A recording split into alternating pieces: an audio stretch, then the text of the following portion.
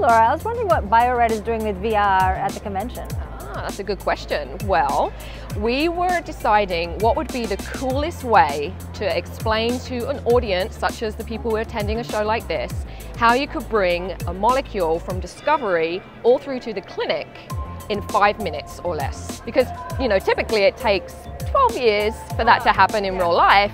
So we thought, what better way than using the latest tools, virtual reality. Excellent. Would you like to try? it? Yes, I would like to try Okay, it. I've all never right. tried this before. Okay, here you go. So pop that on. Here are the headphones.